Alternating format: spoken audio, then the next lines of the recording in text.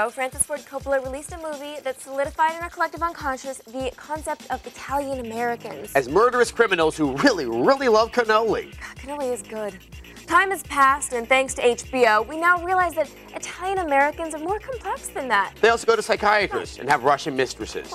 And some of them are plumbers who hate turtles. But for the classic Italian American stereotypes, you can always go back to the original source. Here's our review of The Godfather. It's good to be a part of a family. Especially a family that kills things for a living. Welcome at long last to the world of The Godfather. But is this game worth the wait? Is it a made man? Or will it end up like Joe Pesci in Goodfellas, wearing his best suit face down in a pool of his own vital lubricant? Start your gaming life as a wee shiver of a boy. You've just deposited your first horrific event into the bank and trust of your brain. Papa? Since you can't withdraw anything from there without costly therapy, you'll have to set off on a vindictive murder spree.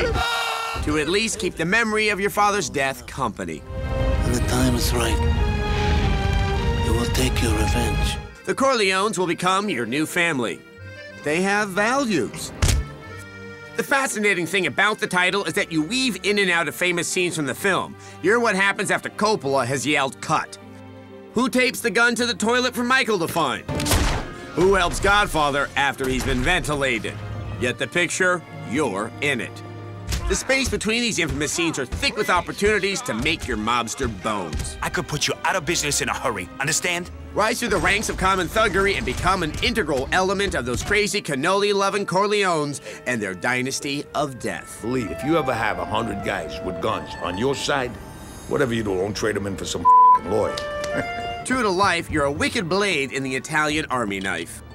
Don Cole. You'll set off armed with a fistful of advice supplied to you by some of the film's infamous characters, like old Abe Vigoda. I need one last favor. A hit. What do you say? Along your merry path, you'll put the squeeze on the local American dream for a taste of the action. You'll also uncover larger rackets that they may be sheltering within the smaller businesses. Get you. The game has some great explosive detail, and bits of collision are nicely visualized, but there seems to be something lacking in terms of atmosphere.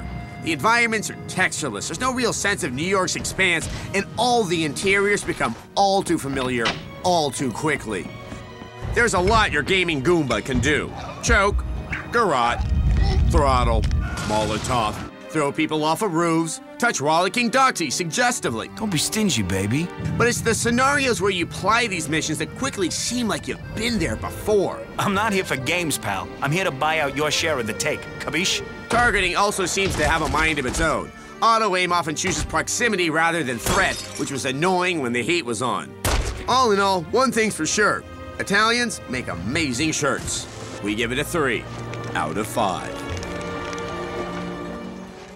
You know, I wish they decided to include Diane Keaton in the game. I'm deeply into her Caucasian whining. It really made the original movie for me. The possibility of turning classic films into video games has really no end of possibilities. Really? Yeah. Okay, well, what? Bridge on the River Kwai, over the River Kwai. Okay, that's like a railroad tycoon game. Gone with the Wind, farming slash starvation sim. Okay, Dr. Zhivago, real-time strategy, it's the Russian Revolution, but there's all these really good melodramatic mini games and icicles everywhere. Oh, that sounds beautiful.